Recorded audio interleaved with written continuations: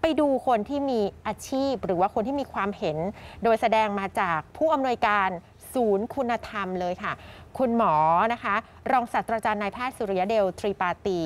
ให้ความเห็นเรื่องนี้แบบนักวิชาการเลยค่ะครับเขียนว่าบันทึกจากหมอเดลเกี่ยวกับเรื่องของคุณพ่อ แสดงความรักกับลูกสาวไอการล้วงการจับลูกคลำนั้นเป็นกระแสในทวิตเตอร์ผมขอบอกเลยว่า โปรดเข้าใจด้วยทัศนคติที่ว่าลูกไม่ใช่ทรัพย์สมบัติของพ่อแม่โอ้จริง ๆ ดิฉันต้องเรียนเลยบางทีคนไทยคิดว่าลูกเนี่ยคือทรัพย์สมบัติจะทำอะไรก็ได้นะคะครับตามอนุสัญญาว่าสิทธิเด็กพ่อแม่ต้องรู้ค่ะ ด้วยการเป็นหน้าที่ของพ่อแม่ต้องปกป้อง คุ้มครองอยู่รอดปลอดภัยค่ะ ช่วยให้เด็กนั้นสามารถอยู่ในสังคมได้ สิ่งที่กระทำนี้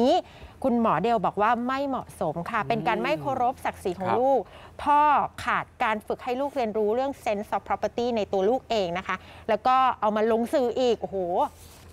ถือว่าไปกันใหญ่เลยค่ะ อืมหน้าที่ของพ่อแม่นั้นครับคือจะต้องสอนให้ลูกรู้ ว่าอันไหนที่ควรจะปกป้องคุ้มครองตัวเอง แล้วก็ฝึกให้ลูกสาวมีสภาวะที่เข้าสู่วัยรุ่นแล้ว เราต้องรู้ว่าอันไหน ตัวเองต้องปกป้อง อันไหนโดนได้อืมจับได้ อันไหนครับไม่ได้นะคะ แล้วก็เป็นการละเมิดสิทธิเด็กด้วย ยิ่งนำลงสื่อนี่พ่อแม่ไม่ควรทำและสุ่มเสี่ยงต่อการเกิด sexual harassment ด้วยค่ะ อันนี้ก็ถือว่าเป็นความเห็นจากผู้ที่เป็นผู้เชี่ยวชาญในสังคมแหละ เพื่อเด็กจะได้อยู่ร่วมในสังคมได้ไม่ลำบากมากเกินไปนะคะ อันนี้ก็บอกมาเป็นครับข้อๆเลย คุยคำโน้นบ่ายสามโมง